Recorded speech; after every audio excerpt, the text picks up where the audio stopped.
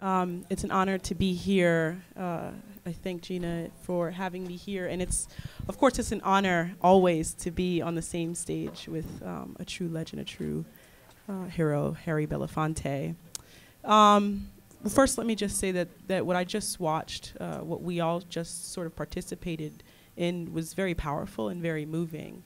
To hear the voice of this person, um, Herman Wallace, to be in the mind of uh, of him and what he'd been through, I think is important and it's essential for us to understand not just the issue of solitary confinement, but what has happened to political prisoners in this country.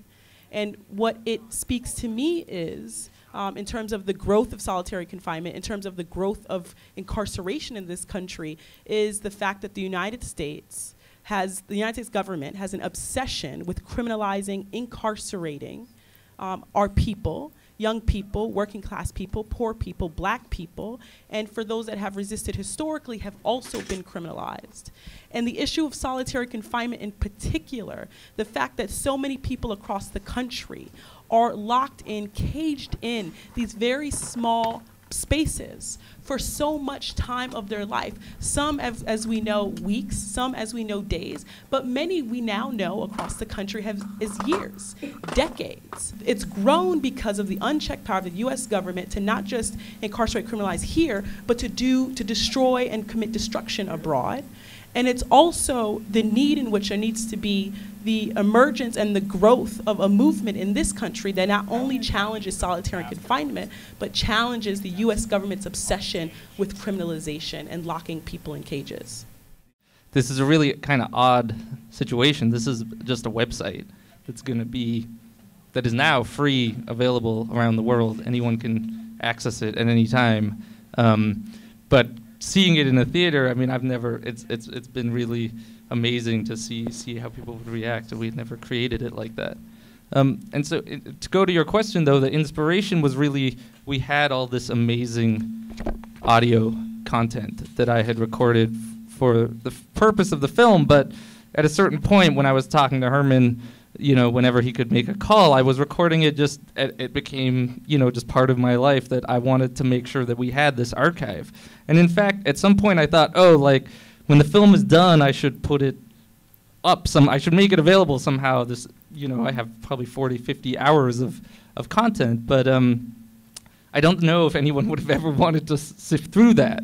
And it was actually through the film board um, approaching me that said, "Look, this actually could work as, a, as an interactive story."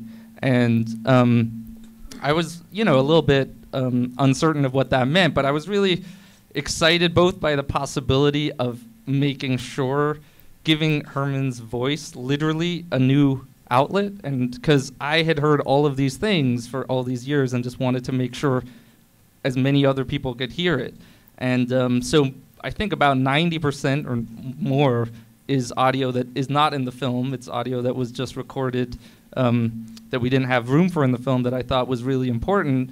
And I also thought that this is a technology that is you know it's it's the future right people it's for young people how are they going to access this story you know they may not want to sit down and watch an 80 minute documentary um, but they may be open to w- like playing with it for two minutes for five minutes for 10 minutes and we really wanted to construct it that way that you could you know the entire experience you'll get cut off after 20 minutes but you can get something out of it even if you just you know spend a f- couple minutes on it and hopefully you know, it intrigues you enough to, to want you to, to know more. Mr. Belafonte.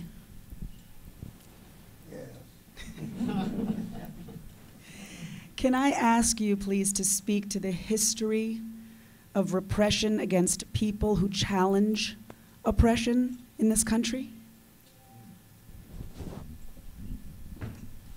Okay. Uh, First of all, just let me express my delight at sharing the platform with everyone that's up here. And uh, to the people who are in the audience who have taken the time out to sit and listen to this exchange. I've been at this game, actively at this game now for 70 years. I'm soon to be 89 years of age. And uh, I have been involved in almost every major campaign in America and in my the later half of my life in most of the world in Africa and South Africa and liberation movements around the world. And I've seen the global commonality and the struggle against oppression uh, and the issues of the class system. I keep working at and supporting these things because each time we set a campaign for ourselves and think we have gained the high ground, we only find that some days later or some years later, we seem to be eternally coming back to square one. I don't know how many startups I've been at that uh, have tried to deal with the issue of incarceration and prisons. I've visited most, not most, but I've visited many prisons between Sing Sing and, and New York and Tracy out in California and every place in between and spend quality time with those who are incarcerated. And I find that the overwhelming majority are there with extreme uh, consequences of injustice. They're there for things that no one should ever have been arrested for or punished for. They were there because in most instances they were making social protest against inhumane conditions. The fact that the state consistently uses imprisonment as a tool to uh, undermine and to frustrate those people who would like to change the paradigm uh, has resulted in America having the largest prison population in the world, as you all know, and has devoted an awful lot of its resources to continuing to build more prisons. Recently, down in Baltimore, during the the rebellion against uh, oppression, uh, the federal government stepped in. I'm sorry, the state stepped in and uh, flooded the streets with the National Guard. It was fixed bayonets and threats. They said, uh, uh, among other things, we set a curfew. The curfew is to ensure that at 10 o'clock at night, everyone is off the streets. And uh, if not, uh, they shall pay the severe consequence of uh, the wrath of the state. In a meeting with a group of the young leaders discussing this thing about the curfew, uh, I pointed out that uh, we had just been offered a golden opportunity. And the golden opportunity was to, in fact, violate the curfew, to get arrested, and to fill up what prison space existed with the bodies of citizens and make the prison system ungovernable, to make it uh, unable to function. And if they went into extreme behavior with solitary confinement and all the things that they would do, to revert to the techniques of uh, nonviolence uh, designed by Gandhi and practiced fully by Dr. King because if they put you in solitary confinement, then make the choice to strain the system to the degree that uh, it may be your death but there's a moral consequence to that kind of conduct that the universe would not tolerate. And we have yet to uh, come back from the summer hiatus because soon um, much of America will be back to business as, as usual. Uh, there'll be more Fergusons, there'll be more deaths, there'll be more police violence. And the question is, what do organizers around the country do in the face of this uh, rather difficult plot by the state? Let me step away from that for one second and then make this observation. When you say the state or the government, or uh, one assumes that somehow it is un, inhuman or unhuman. The men and women who sit that make the decisions to do all this cruelty are fellow human beings. Uh, how can they be reached? I watched the Pope in his visit here doing some remarkable things and saying some remarkable things for a man of his stature coming from an institution that has been so replete uh, with, uh, uh, with behavior and things that have frustrated liberation movements. The fact that Francis has stepped in here and speaks differently says, I'm glad I lived long enough to see that turnaround. I'm not quite sure the impact it will have on the institution because he's just a human being. But he is a human being with conscience and uh, out of the tradition of the church, he stepped into a space where he has decided to become an activist. Uh, I'm here today because each time young people engage upon practices that are designed to combat the oppression we are talking about, the brutality we talk about, uh, the inhumanity that prevails. I draw upon the wisdom of the years and all the wise men and women that I've talked that have shaped the way in which we did business in the past. But I take nothing for granted. With technology, with all the different things at our disposal, what ideas uh, we're able to come up with that's a new approach to the issues of incarceration and the overall issue of oppression. I'm not quite sure I understand what this is all about. I'm not quite sure I understand how it builds and what will be done with this interchange that we've watched take place. Uh, I've been in touch with Herman Wallace uh, others who are living a wretched, ex- a wretched, a wretched existence in, in, uh, in prison. And I just know that I have got to respond to new ideas, to new techniques. And in that context, I can uh, leave here uh, having said, uh, I played the game to the end, and I did what was asked of me, and I made myself available.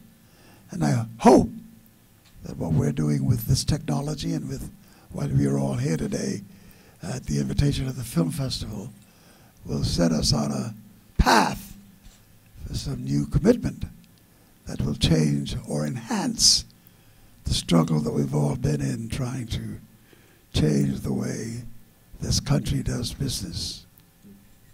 Thank you. Thank you very much.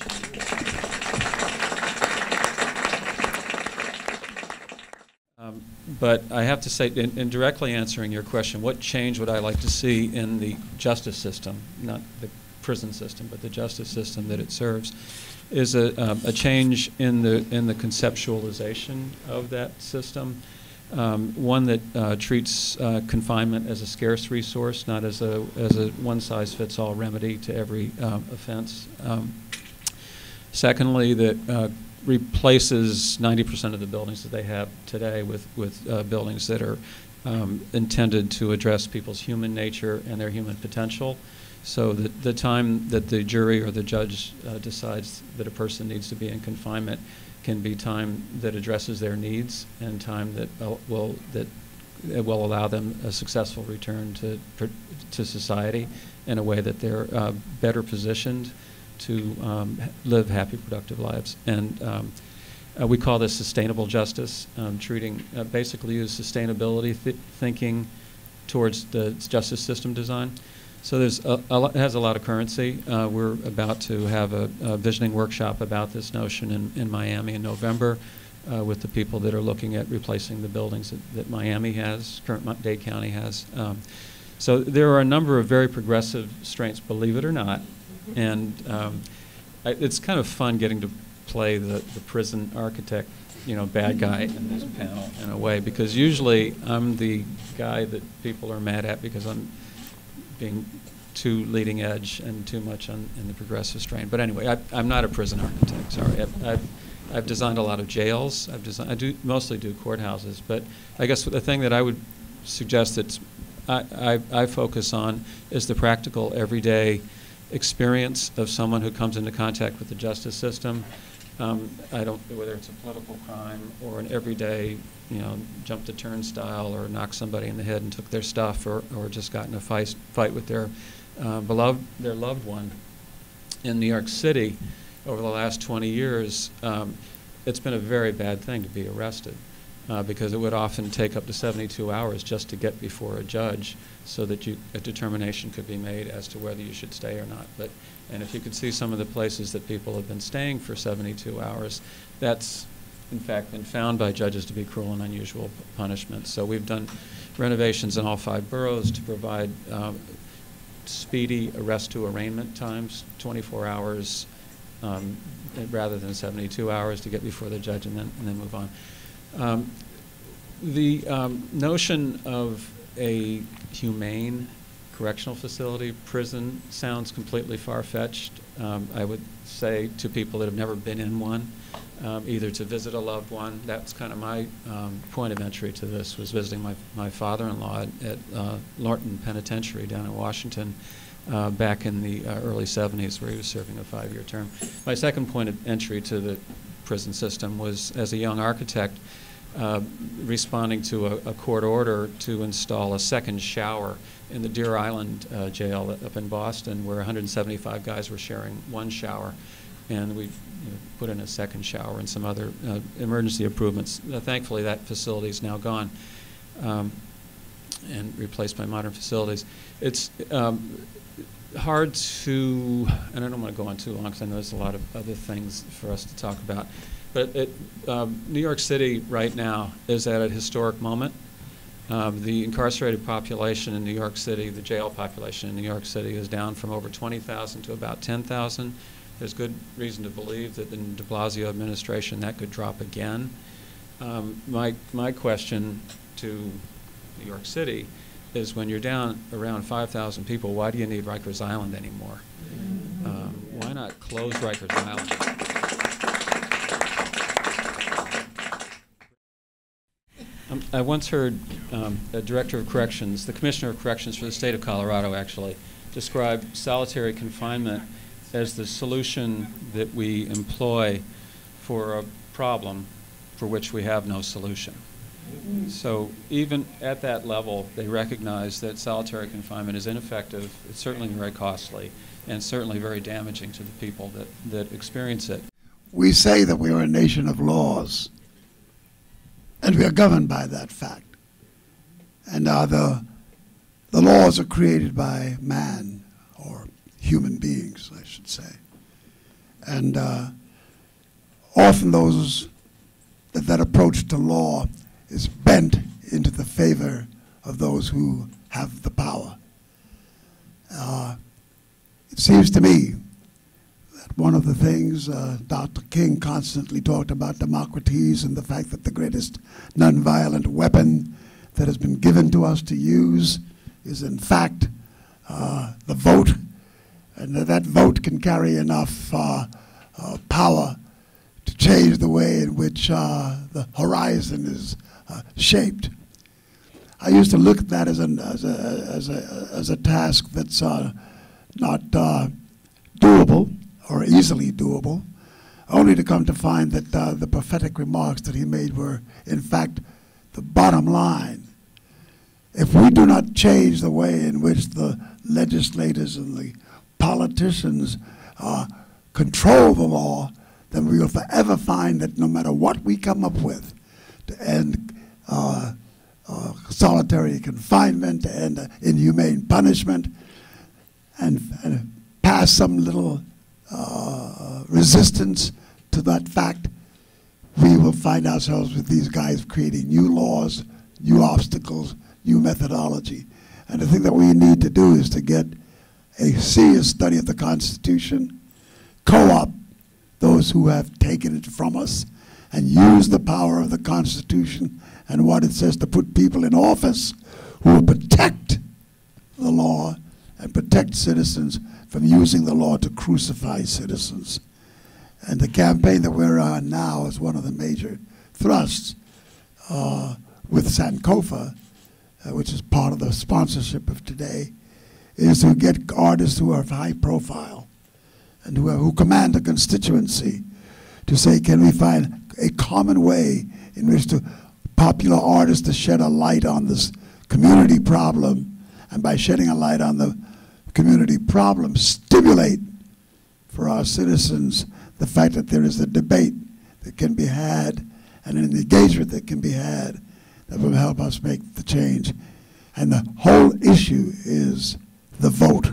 And the whole issue is who we send to office to manage the systems that oppress us. Thank you very much.